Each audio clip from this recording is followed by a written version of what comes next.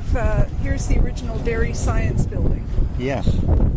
This was a very interesting building uh, for students. Uh, there was there was uh, quarters downstairs here where um, the students came in for snacks in the evening, Oh, and uh, they could get uh, a milkshake and uh, oh, it's locked. Food Science Department. Yeah, yeah, they could get a, a milkshake here, and uh, there were some other snacks, light snacks like that.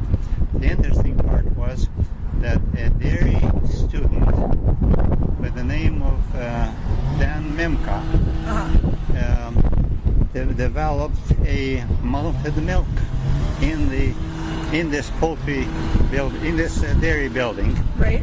Um, and later on, he was hired by the Hudson's Bay Company to uh, to produce malted milk. I think malted milk is being produced even today. Yeah. Yeah. So the students used